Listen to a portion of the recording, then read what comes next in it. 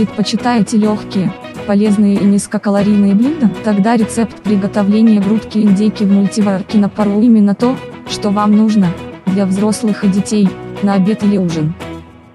1. Вымойте и обсушите филе. 2. Чтобы грудка индейки в мультиварке на пару в домашних условиях была сочной и вкусной, предварительно ее лучше замариновать, в глубокую мисочку выложите филе, поперчите по вкусу и добавьте розмарин, можно использовать и другие специи по вкусу.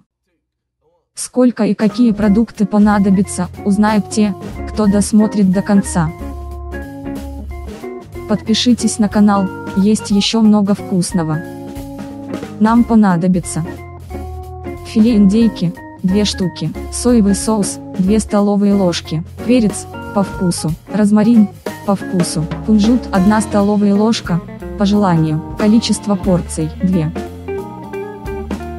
Подписывайтесь, комментируйте, ставьте палец вверх, и спасибо за просмотр.